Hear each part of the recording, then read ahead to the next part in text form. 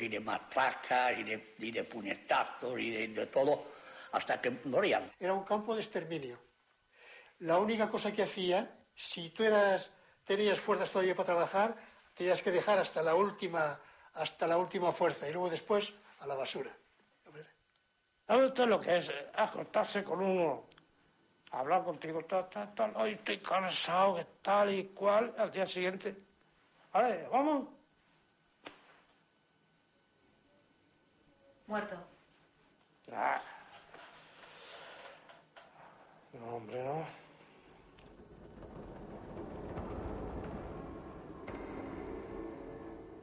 Se formaba durante dos o tres horas en la Plaza La Pel, la plaza donde formábamos, se formaba dos o tres horas con la lluvia, con el frío, con la nieve.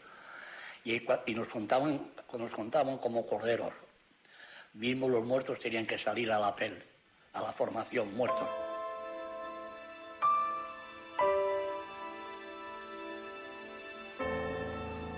Había un caballete que lo habían hecho expresamente así, y había un barrote así, ponía los pies al interior y otro también, te acostaba ya, te hacían bajar los pantalones, y entonces a veces había, se ponía uno de cada lado para dar los 25 palos.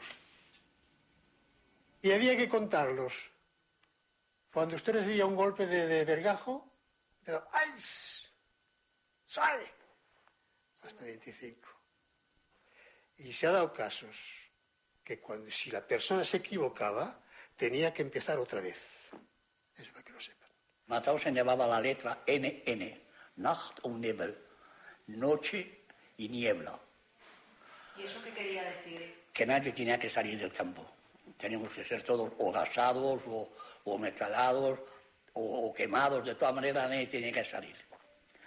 Y cuando usted duerme, como yo dormí en una barraca enfrente del crematorio, donde ve toda la noche las llamas salir por la chimenea, pues al principio el moral está muy bajo, después ya te acostumbras y dices, bueno, que llegue lo que llegue, sea como sea.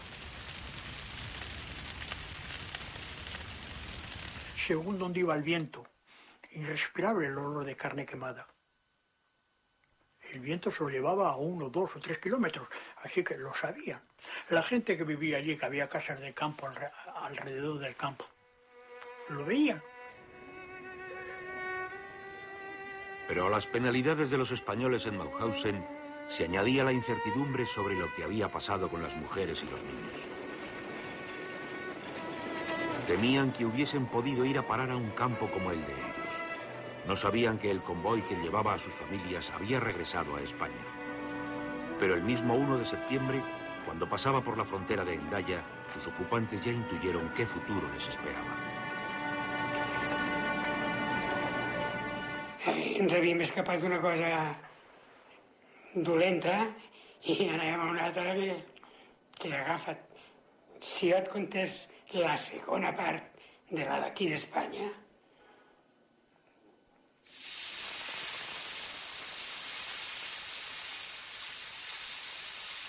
Nos dejaron en el vagón y nadie nos abría. Nadie sabía ni que estábamos allí. Pasó un guardagujas y sintió llorar. Y al sentir llorar, él pensó que eran maleantes que se habían metido en el tren. ¿eh? Abre y cuando ve aquello, dice el Dios mío, ¿pero qué es esto? Entonces mi madre llorando y nosotros todos, además de hambre que, que no, no habíamos comido ya cuánto tiempo, un hambre que, que no, yo ya no tenía ni estómago. Y dice él, pero señoras, ¿qué hacen ustedes aquí? Y mi madre se lo dijo, dice el Dios mío, si yo creí que este tren que habían puesto aquí la había muerta, dejábanos morir allí. Y al llegar aquí, en Asturias, tuvimos un recibimiento en esta estación de la gente que era de derechas, esperando que bajáramos del tren, diciendo ahí llegan los rojos, ahí llegan los asesinos. Digo, pero bueno, mujeres y niños. Si eso tiene cabida de, explicación, yo no lo sé. Y bueno, luego pues vino otro martirio, que fue el franquismo.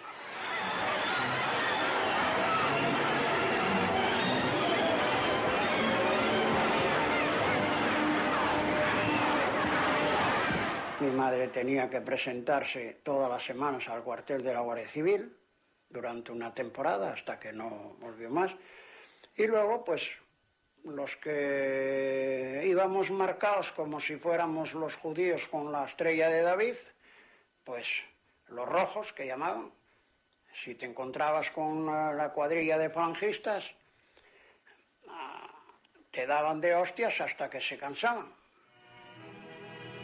El Santo Cristo de Lepanto ha sido encontrado y devuelto a su templo para recibir de nuevo el devoto homenaje de los catalanes a la dureza de la represión franquista, estos repatriados deberán añadir la inquietud por sus familiares presos en Mauthausen. No saben a dónde ir, a quién preguntar. Cualquier gestión se tenía que hacer medio a escondidas, porque revelaba un pasado de exiliados republicanos que los podía poner en peligro. No será hasta casi tres años más tarde cuando empiecen a recibir las primeras cartas de los deportados. Unas cartas censuradas tanto por las autoridades alemanas como por las españolas y que había que saber leer entre líneas. Eran unas tarjetinas así, traía. El prisionero solo puede escribir 25 palabras de carácter personal.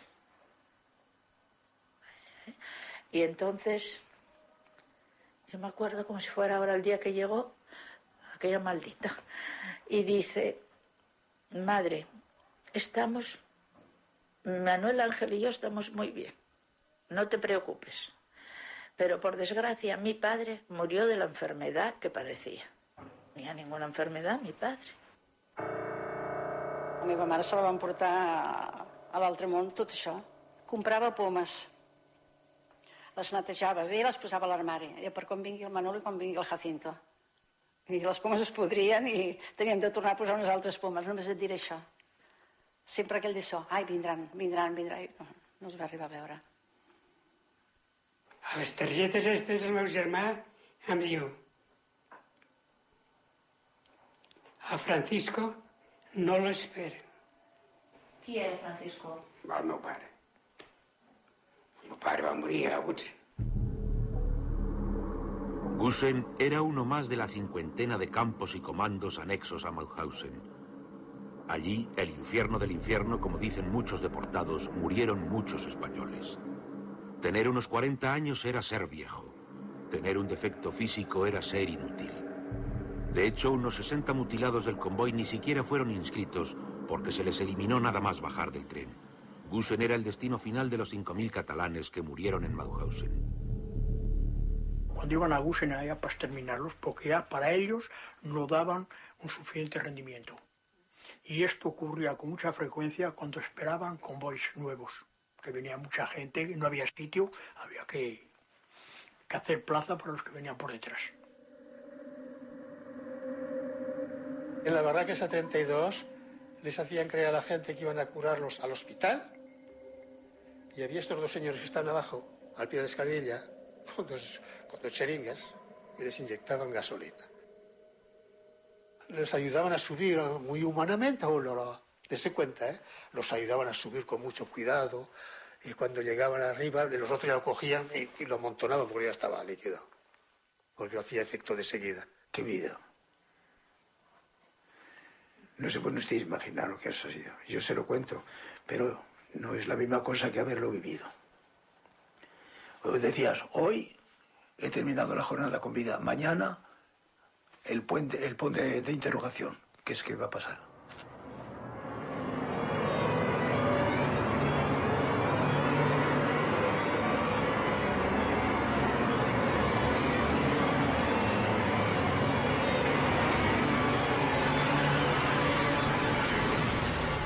Había judíos